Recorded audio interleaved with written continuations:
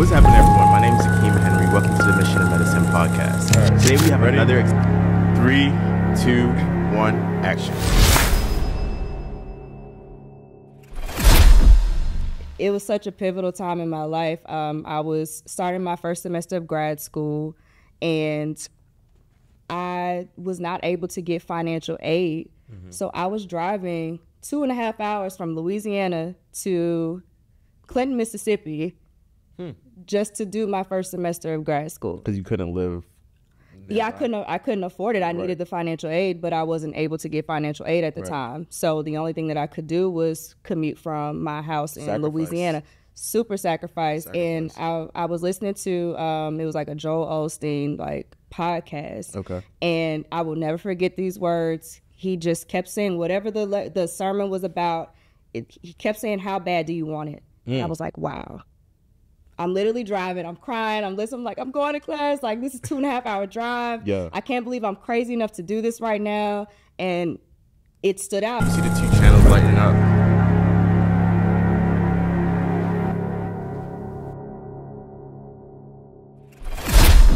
What's happening, everyone? My name is Akeem Henry. Welcome to the Mission to Medicine podcast. Today we have another exciting interview for you all. Today we have student Dr. Diamond Moses.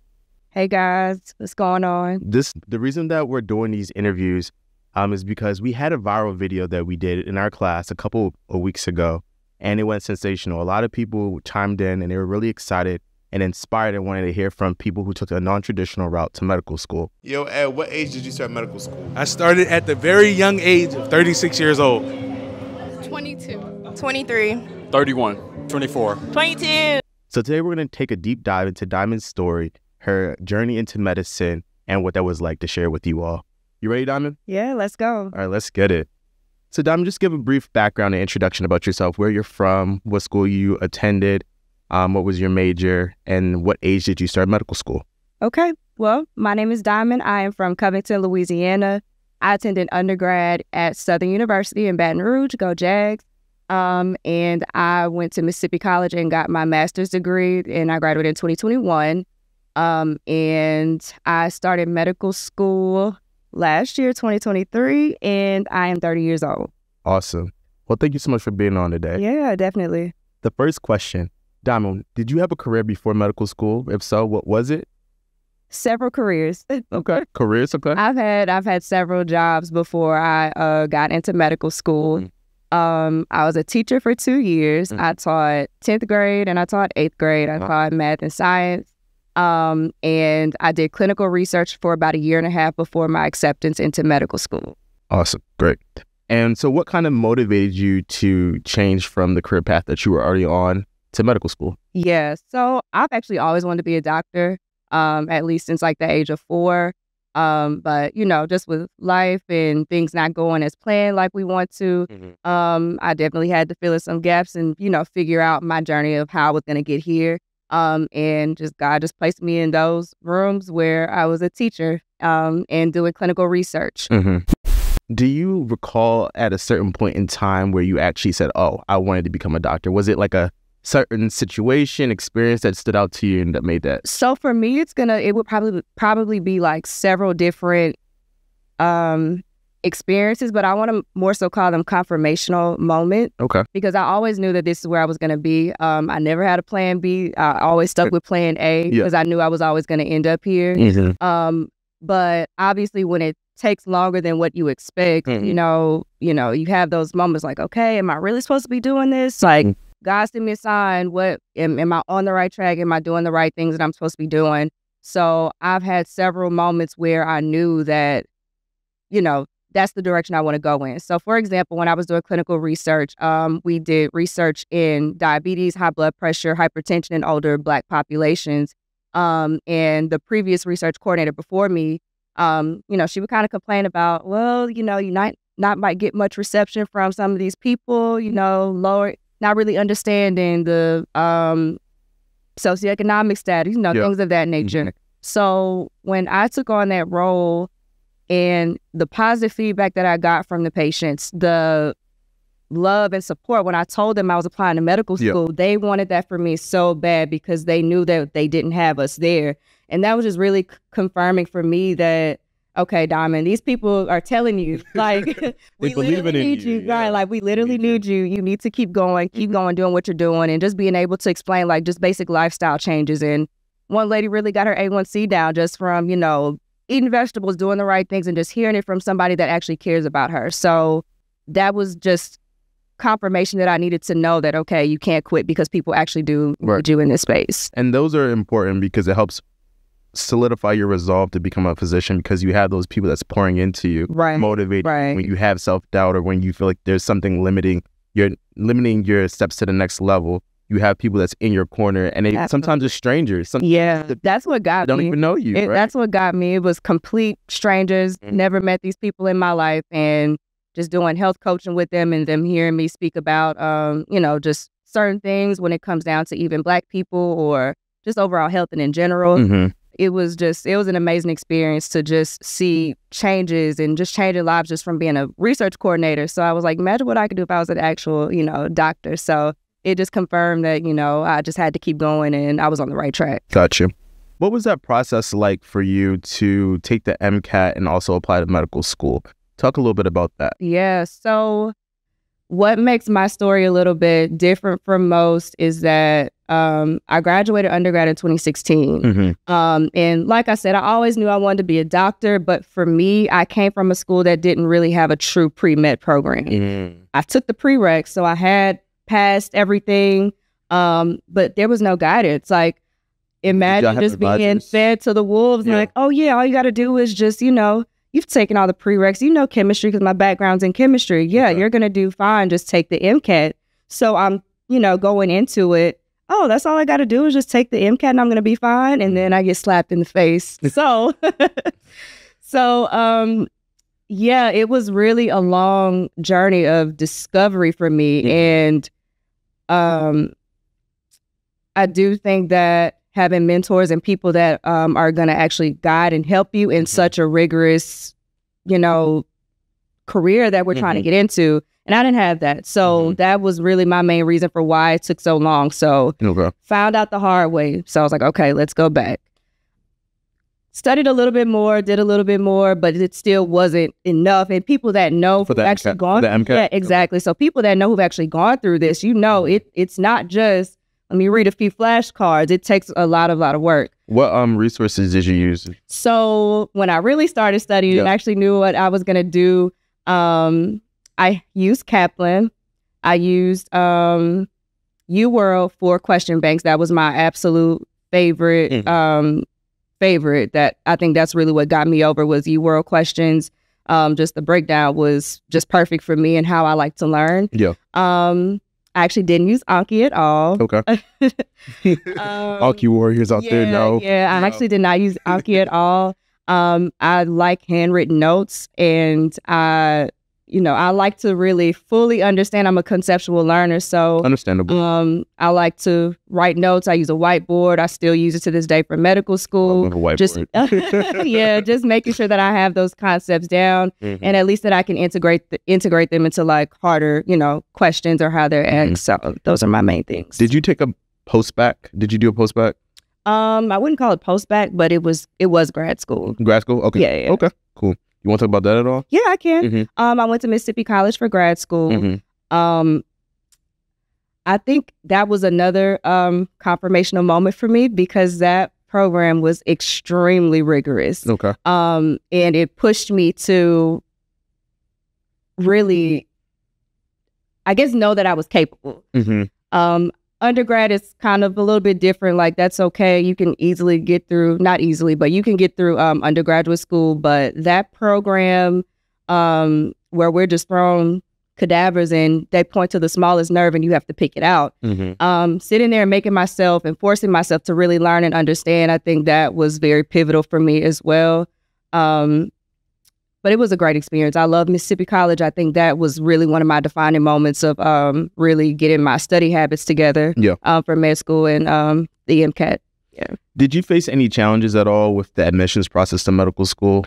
Um, any doubts in your mind, or just like any hurdles that you had to jump through the process Um, outside of the MCAT, of course? outside of the MCAT, uh, not really. I did apply twice. Um, the first time it was just my I wasn't ready. Like my MCAT score wasn't where it needed to be. It Yeah. was close, but it wasn't close enough. So it Mhm. was like one last push that I needed to do for that. Mm-hmm. Um, but outside of that, I didn't really have any issues with my um, admissions process. But again, just going back to having those mentors and people that actually like know what they're doing. Yeah. Because applying the first time versus the second time, you know, there are some things that I definitely tweaked to make sure that I, you know, had better and knew what I was doing. Um, just wholeheartedly being prepared. is Yeah, it's really what it important to have like people review your application and having those mentors Yeah. that can help guide you get Yeah. the tidbits. Yeah. So that makes sense. So now that we're finally here in medical school, we just wrapped up y'all our first year of medical school. So we're officially M2s moving on.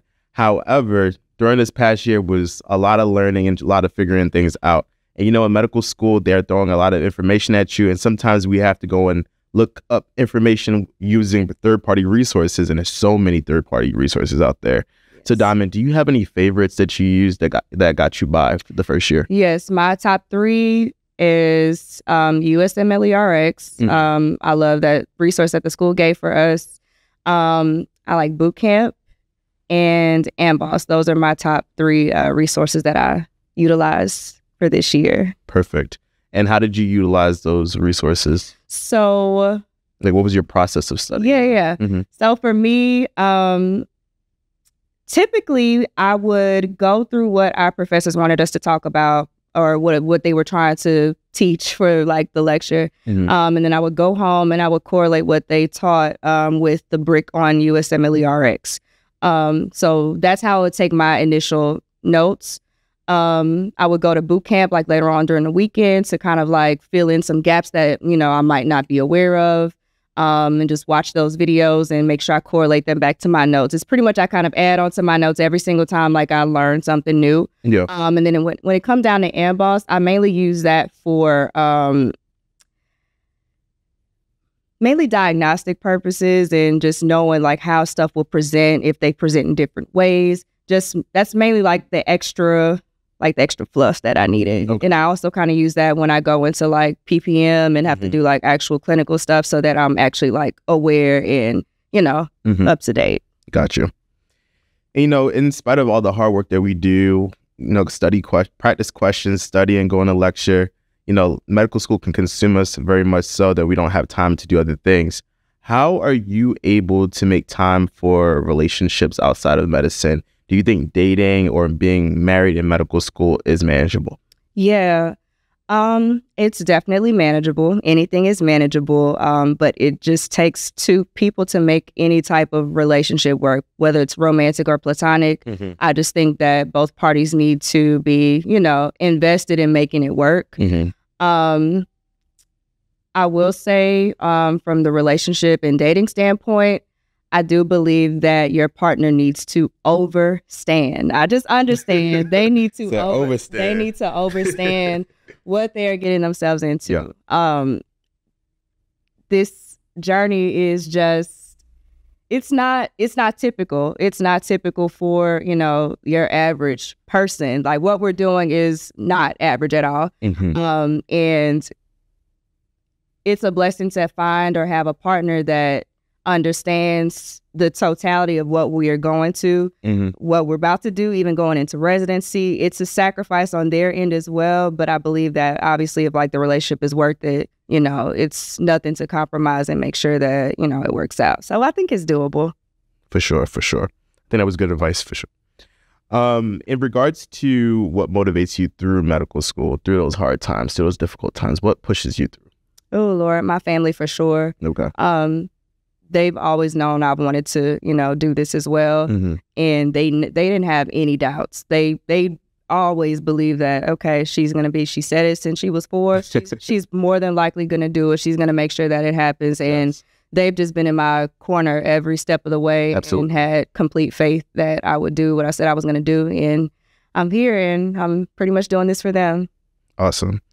Um, did you have any doubts in your mind uh, to returning to student life um, after you know taking some time off, and how did you overcome them? A little bit, not much. Um obviously like my initial thoughts were okay, I'm 30, I'm about to be in class with a bunch of 24, 23, 22 year olds. like I haven't been in this environment in a really long time. Yeah. Even just sitting in class in general, I was like, oh God, I need to get to my house. Mhm. but um after that, I mean, I, I love our class for the most part. Mhm. So it was a very easy adjustment. Um, Mm-hmm. as long as I can like speak to everybody, have a conversation with anybody and, you know, get through the day with, you know, just talking and laughing and, you know, going about our day. It was Mhm. fine. I got over it quick. But I did have those initial thoughts. Gotcha, Got you. sure. Got you. And I know, like, speaking about, you know, getting along with everyone and like the culture within our Mhm. school, I know it's a very family oriented, Yeah. you know, having that HBCU background. Um, I know you went to a HBCU prior to this, so you kind of have already, you know, a, a better insight into what it's like because I didn't go to an HBCU, I went to a PWI. So, what is, um, I guess, compared to undergrad, how would you compare Meharry towards like the other Ma- HBCU yeah, yeah, yeah. Um, it's a similar feel, like you said, just like if every day feels like a family reunion. Okay. There's something going on. Um, the culture in itself is just, I think every Black person should experience it. Um, the love that you have while you're here um, is unmatched because obviously once we go out into the real world, Mhm. we're going to be back to being the minority. Right. So I think like while we're here, while we're able to like love on each other and support each other, I just think that is extremely important. And I did get that at my last HBCU because I love Southern real bad. Awesome. Um, since studying medical school, have you had any standout revelations or observations that just stood out to you? Since starting medical school, Mhm. Something that you Um, probably didn't think about, and then you got here, you're like, oh wow, okay. Uh,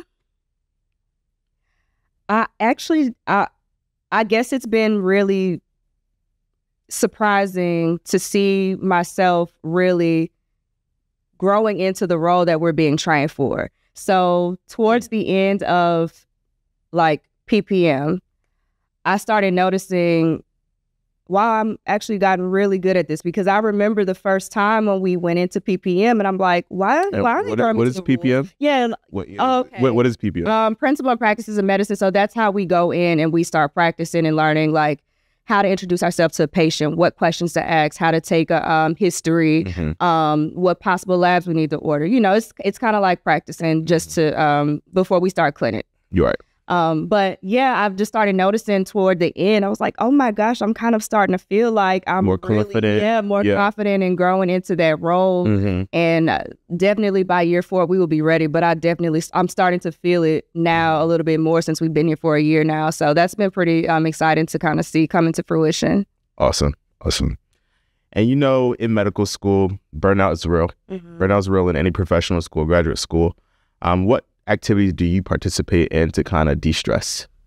Um, I do go to the gym pretty consistently. I have to, you know, make sure my health is a priority. So I definitely take care of myself in that aspect. Um, I listen to myself.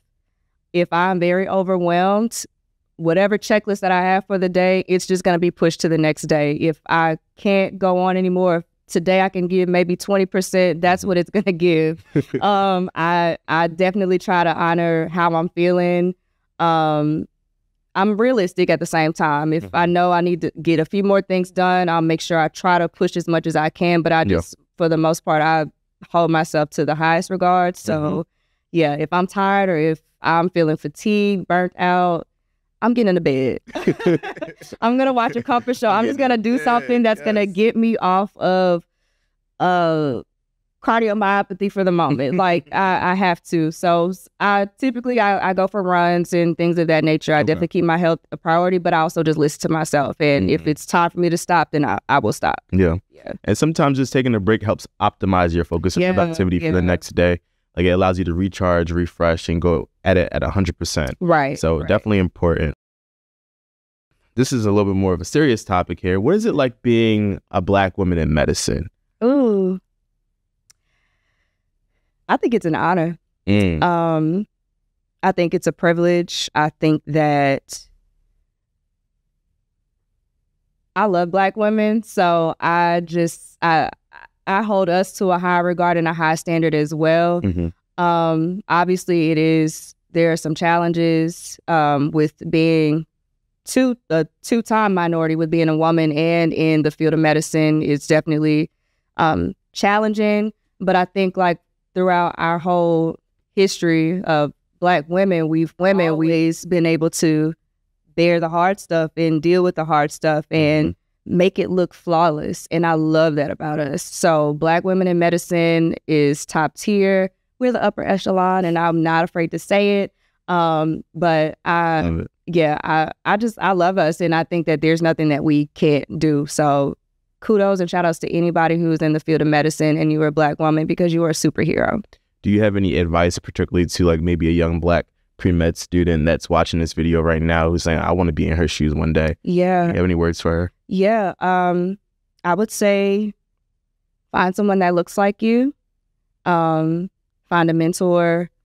Find somebody that's going to care about your success because it's also easy to find a mentor. Um, and sometimes people have to pay for those services, which is ridiculous to me. It's in certain, you know, cases. Mm-hmm. But not so much find somebody that just looks like you, but you need to find somebody that cares about you and cares about where you're going. Yeah. Um, because you will always need someone to pour into you and um just you just need the motivation. Even if you have like the the smarts and you know you got the 4.0 GPA, you have all of that. It takes so much more than just being, you know, just smart. You're more than just being smart. Like you're powerful. You have so much to give to the world. So make sure you just find somebody um, that's gonna, you know, look after you and just full fully like be your support system because you're gonna definitely need it. Mhm. And nothing's impossible. Awesome. Um, in the other aspect, for just a non traditional student who wants to pursue medicine, what advice do you have for them? Yeah. Um I think my main thing is if you really, really want something, you will do whatever it takes to get it. Um for me, um it was such a pivotal time in my life. Um I was starting my first semester of grad school and I was not able to get financial aid. So I was driving two and a half hours from Louisiana to Clinton, Mississippi, Hmm. just to do my first semester of grad school. Because you couldn't live. Yeah, I couldn't. I couldn't afford it. I needed the financial aid, but I wasn't able to get financial aid at the Right. time. So the only thing that I could do was commute from my house in Sacrifice. Louisiana. Super sacrifice. And I, I was listening to um, it was like a Joel Osteen like podcast, Okay. and I will never forget these words. He just kept saying whatever the le- the sermon was about. It, he kept saying, "How bad do you want it?" I Mm. was like, "Wow." I'm literally driving. I'm crying. I'm listening. I'm like, I'm going to class. Like this is two and a half hour drive. Yeah. I can't believe I'm crazy enough to do this right now. And it stood out. I don't even remember the sermon or whatever, but those words I will never forget. He just said, How bad do you want it? And it carried me throughout all of grad school. Mhm. Um, so just for any non-traditional student, if you want it bad enough, you will literally do whatever it takes to make sure that, you know, you get to where you want to be. So just don't give up. I know life is hard. Like even just with this story, like that's insane. People Mhm. hear me talk about it and they're like, You did what? You you drove how how long to get to school? yeah. but yeah, just just don't give up and you have to find that perseverance deep within to Mhm. just go after it. That's amazing. Thank you so much for that. Um, do you plan on having children? Yeah, I do want some kids. Okay. Yeah, later Uh. If they they were interested in medicine, would you support them or? Uh, absolutely. Um, I'm all here for, for supporting anybody's dream. So whatever they want to do, I'm, Mm-hmm. I'm definitely a full champion for it. Okay. And if you could go back to your younger self, what advice would you give to your younger self? Ooh, Guide yourself through the process. to guide myself through the process. Um, just to slow down, Mm.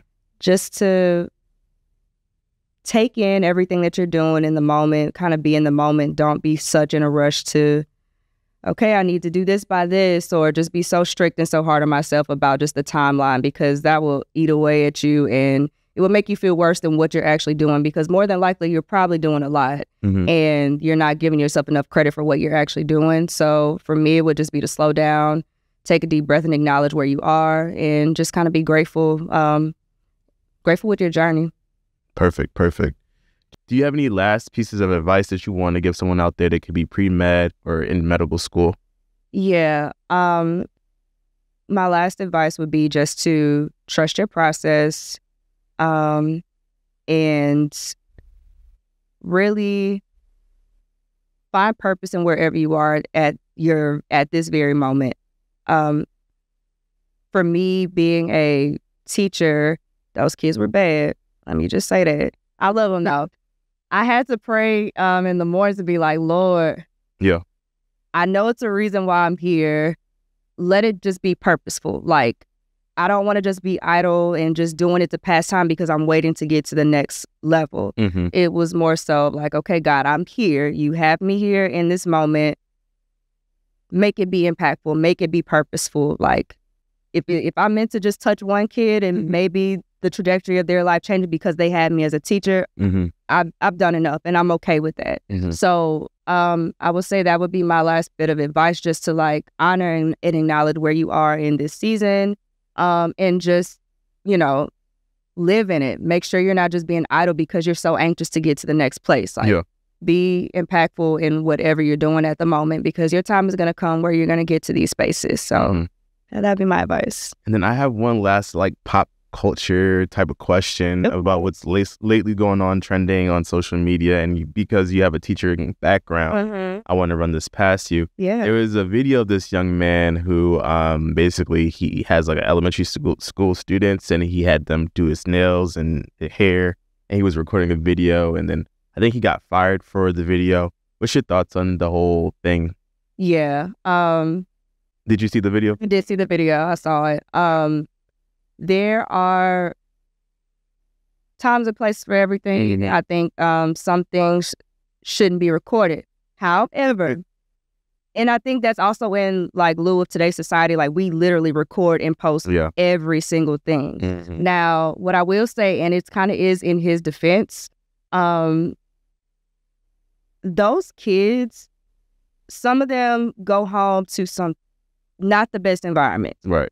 Sometimes this is their outlet. If they want to like love on their teacher, play with them, do whatever, it happens. hmm I still have videos in my phone of like kids doing crazy stuff with me, you know? Um so I don't totally like disagree because it happens. It happens to women too. Yeah. Like the girls braiding braid teachers' hairs all the time. Mm. Um, but I don't know. It's kind of touchy. It's kind of Yeah, iffy because it yeah. can go both ways. Um, Yeah. but I think that he has a really good uh, reputation with his kids, Mm. which should be most important because Right. we already got a teacher shortage. Yeah. Yeah. Yeah. it's definitely one of those tricky situations. And when I heard the story, I was kind of torn both ways. Like, was it overstepping boundaries? But I also see him building a connection. He has a good rapport with the children, which matters most. Yeah. And it seems like they really respect him as well. Absolutely. I, should he be fired for it? I don't. I don't necessarily think he should be fired personally. I thought like you know maybe just a warning and ex- explanation about like you know the boundaries that we want to set here and like maybe guidelines for social media Yeah. and postage usage. But I don't. I think I, I definitely agree with that. But the fire was too far. Yeah. Um, because those kids at the end of the day, when they come to school and you're with them for like eight hours out of a day, Mm-hmm. like they're gonna become attached to you Yeah. at some point. Yeah definitely filled a void right there. But Diamond, I appreciate you so much, student Dr. Diamond Moses. She came on today, y'all. I hope you all are inspired, got something from her story, a major takeaway. Um, I really appreciate you coming on here today. Nope. Where can the people find you? Um, you can follow me on Instagram at Diamond Lanae. Perfect. I'm gonna link it down below. Thank you so much again. All right, thank you. Remember, y'all, it's not a marathon nor a sprint. It's a mission to medicine. Peace out.